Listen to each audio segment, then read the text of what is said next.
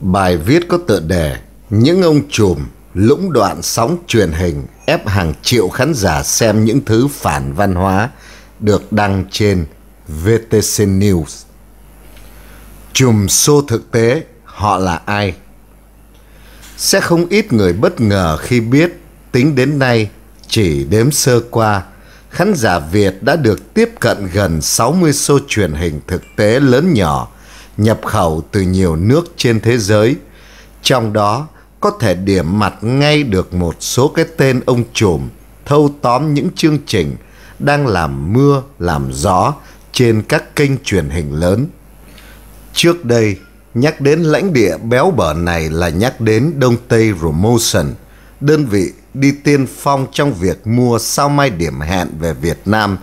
Sau đó là xô đỉnh đám Việt Nam Idol trước khi nhà cho BHD tiếp tục sản xuất.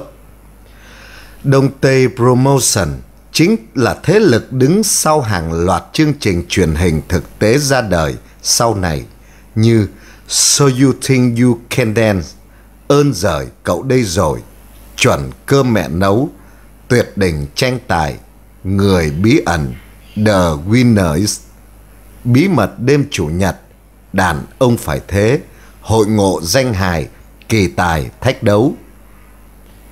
Sau Đông Tây Promotion là sự nổi lên như một hiện tượng của Cát Tiên Sa, đơn vị được đánh giá là sở hữu tiềm lực mạnh, thầu sóng từ HTV đến VTV với loạt show truyền hình thực tế hot nhất nhưng cũng ồn ào nhất lịch sử của lãnh địa này từ khi du nhập về Việt Nam.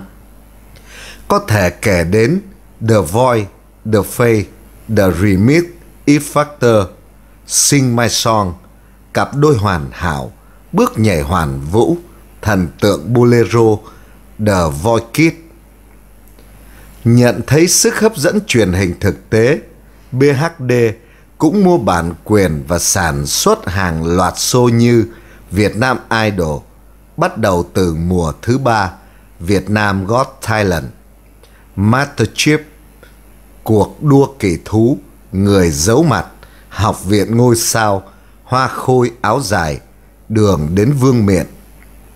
Multimedia GSC với show tìm kiếm người mẫu Việt Nam Next Top Model và Project Runway. Hai năm trở lại đây, vị thế các ông trùm bắt đầu có sự đổi ngôi, nắm bắt được thị hiếu của khán giả.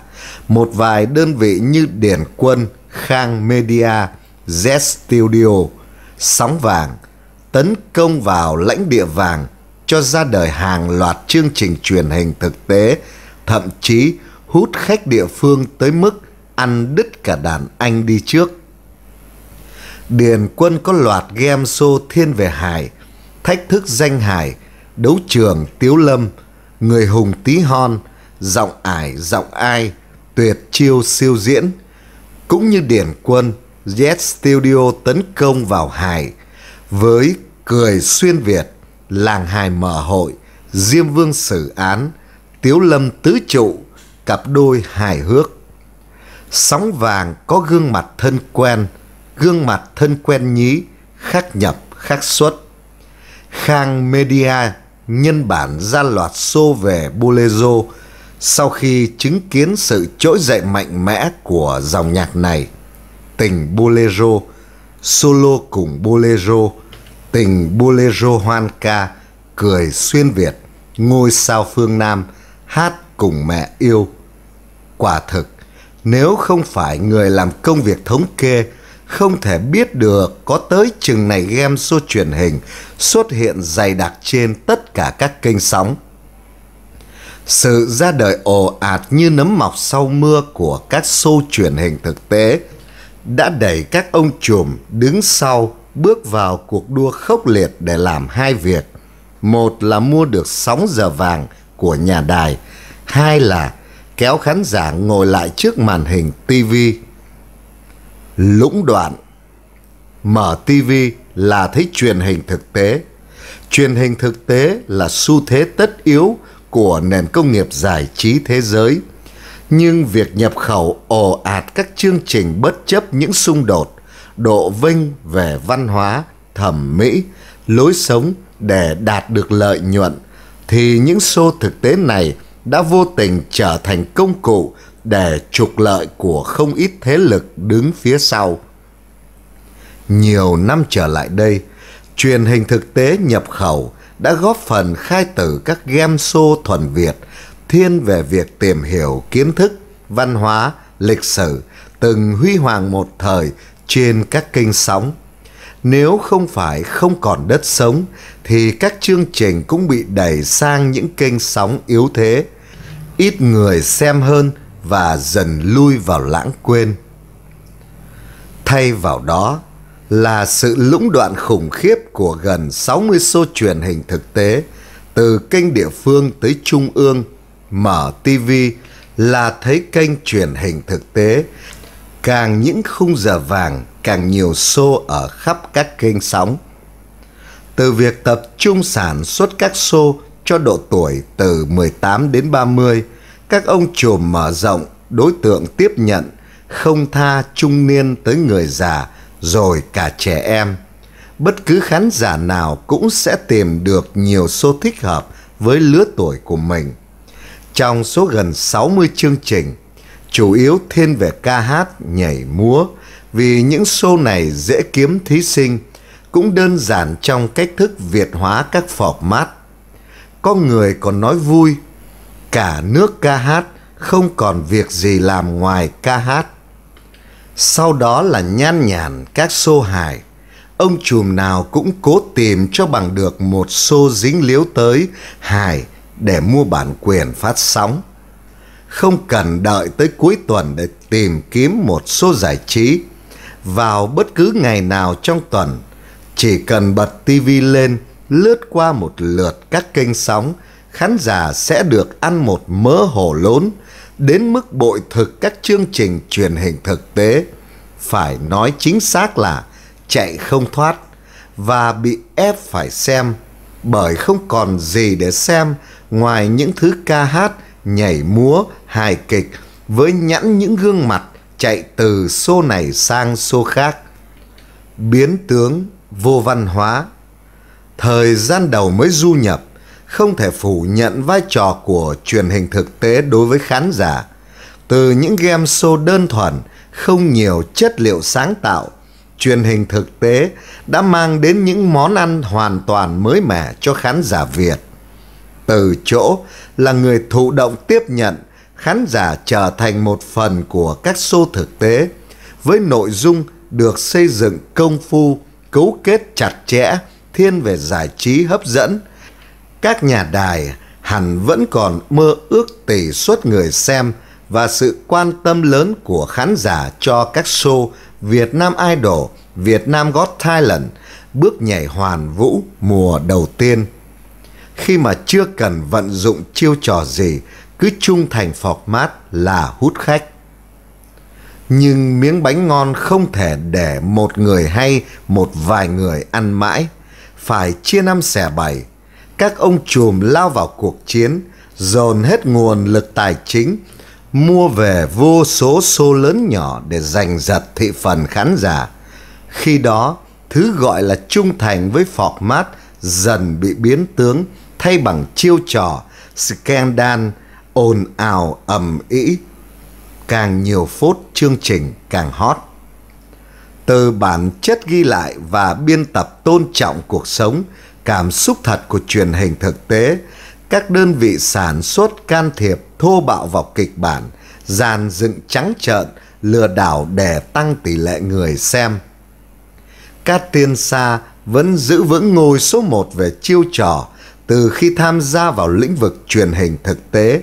Không có một show nào của Cát Tiên Sa không mang dấu ấn của scandal. Cuộc họp báo lịch sử của Phương Uyên ở The Voice Minh Hằng mượn giọng Lan Anh ở cặp đôi hoàn hảo. Anh Thúy lừa dối thân phận ở It Factor. Cuộc chiến của Hà Hồ, Phạm Hương ở The Face. Chỉ là vài trong vô số chiêu thức mà Cát Tiên Sang nghĩ ra để đẩy chương trình vào sự quan tâm của khán giả. Hay người ta vẫn nói mãi về Quỳnh Anh Got Thailand, Đức Anh Hugo, chửi giám khảo được đăng khoa ghi âm lại ở Việt Nam Idol như những tai tiếng đẻ đời của BHD Multimedia GSC thì chỉ cần một Việt Nam Net Top Model đã có thể ghi danh vào sự vô văn hóa không có đối thủ. Khi mùa nào cũng mỉa mai, công kích, cãi lộn, đánh chửi như một cái chợ trên truyền hình. Sau này, các ông trùm cao tay tới mức dàn dựng ầm ĩ ngay từ khi chương trình chưa lên sóng, chỉ mới dục dịch ra lò, Minh Hằng đã khóc tố Hà Hồ chèn ép, khiến cô không thể ngồi ghế nóng, đờ phây. Mr. Đàm đã không thể ngồi chung với Phương Thanh. Đi kèm với những tiếng ồn ào, việc số lượng đè bẹp chất lượng đã khiến những chương trình thực tế ngày càng đi vào sự nhạt nhẽo, nhảm nhí, dung tục. Trấn Thành có oan khi bị chỉ trích trao giải quán quân vào một cây hài mới được phát hiện nhạt như nước ốc. Hương Giang Ai Đổ nói bậc cha chú nhét đầu vô cái cầu tiêu là sự vô học đến mức nào. Kiến thức đến đâu mà điệp vụ tuyệt mật đăng tải sai bản đồ Việt Nam đưa vị trí Hà Nội vào sâu lãnh thổ Trung Quốc. Quán quân do Mỹ Tâm tìm ra vẫn ước mơ mua một đàn lợn hay đứng run lẩy bẩy trên sân khấu thì tổ chức ra cả một cuộc thi để làm gì? Bao nhiêu show tìm được tài năng thực sự hay chỉ mượn mặt các nghệ sĩ đánh bóng rồi chìm nghỉm? Trong cuộc cạnh tranh khán giả, truyền hình thực tế bị biến tướng đã và đang mang lại điều gì cho người xem? Đó là sự hời hợt, vô trách nhiệm về nội dung, là sự bất chấp thủ đoạn, sẵn sàng bắt tay nhau bán rẻ danh dự, nhân cách để đạt mục đích. Siêu lợi nhuận, ai chối từ. Nghệ sĩ ưu tú, hữu châu, từng bức xúc mà phải thốt ra thế này.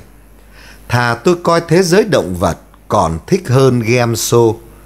Nhưng nghệ sĩ hữu châu và nhiều khán giả hẳn không biết lý do nào khiến nhà đài nhắm mắt làm ngơ cho các ông trùm lũng đoạn truyền hình. Đó là bởi khoản siêu lợi nhuận đến từ việc khai thác quảng cáo trên các kênh sóng. Con số đó phải dùng từ khổng lồ mới chính xác. Dư luận từng sừng sốt khi nhà đài công khai 30 giây quảng cáo của The Voice 2012 là 160 triệu đồng. Nhưng sau scandal, Phương Uyên đã dàn xếp kết quả con số này tăng lên 200 triệu đồng. Những show ở thời còn rất hot như Gương mặt thân quen và Gương mặt thân quen nhí báo giá 240 triệu đồng. Nhiều hơn thế cho 30 giây quảng cáo ở tập chung kết. Sau sự sửng sốt đó, nhà đài không còn dám công khai những con số, nghĩa là càng nhiều scandal, càng nóng càng được quan tâm, số tiền chạy về túi từ các nhãn hàng càng tăng lên theo cấp số cộng, cấp số nhân. Khi cát xê đóng phim chỉ đủ ăn một bữa cơm đạm bạc, ráo mồ hôi là hết tiền, sân khấu trong cơn dãy chết.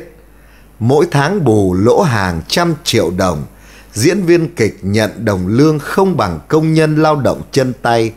Sự sáng tạo ra những xô thuần Việt hấp dẫn bị vắt kiệt.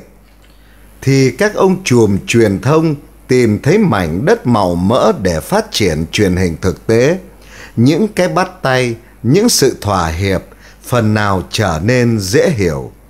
Nhưng câu hỏi đặt ra là nếu cứ tiếp tục sự lũng đoạn trắng trợn như thế này, các ông chùm sẽ đưa sự tiếp nhận tri thức văn hóa của khán giả đi về đâu khi người ngồi trước màn hình tivi kia hấp thụ những thứ chợ búa, vô học. Không một màu ý nghĩa giáo dục nhân văn kia là con, là cháu, là chính bản thân chúng ta.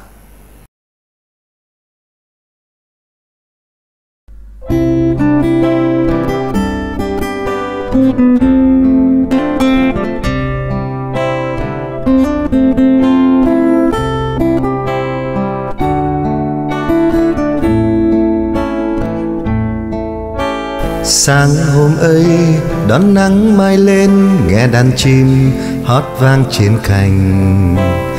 Ta mong cho ngày tháng về sau, sống trong bình yên.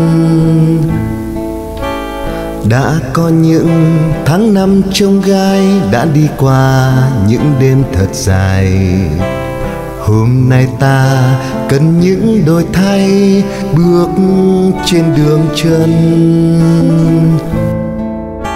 Mặt trời còn lên, lòng ta mãi tin tình người rồi sẽ chân thành thêm. Tình yêu dành cho anh em bừng sáng trong đêm địa cầu còn quay, đời luôn đổi thay, tình người rồi sẽ quay về đây. Tình yêu dành cho nhân gian sẽ thêm tràn đầy. Chúng ta đã đi qua rất nhiều, cả nước mắt lẫn nụ cười. Nhưng hành trình phía trước vẫn còn rất dài, nên điều cần thiết bây giờ là phải khép lại những điều đã cũ. Chỉ có như vậy thì mình mới bước tiếp được nhớ nhé anh bạn. Tôi sẽ nhớ bạn rất nhiều đấy. Mặt trời còn lên, lòng ta mãi tin tình người rồi sẽ chân thành thêm. Tình yêu dành cho anh em bừng sáng trong đêm. Địa cầu còn quay, đời luôn đổi thay, tình người rồi sẽ quay về đây tình yêu dành cho anh em sẽ thêm tràn đầy. Mặt trời còn lên, lòng ta mãi tin tình người rồi sẽ chân thành thêm. Tình yêu dành cho anh em bừng sáng trong đêm. Địa cầu còn quay, đời luôn đổi thay, tình người rồi sẽ về đây. Tình yêu dành cho nhân gian sẽ thêm tràn đầy. Tình yêu dành cho nhân gian sẽ thêm tràn đầy. Đã có hết tháng năm thương đau, hãy cho nhau những đêm nguyện cầu. Ta mong em trở về bên nhau, sống lại từ đầu sống lại từ đầu. Sống lại từ đầu.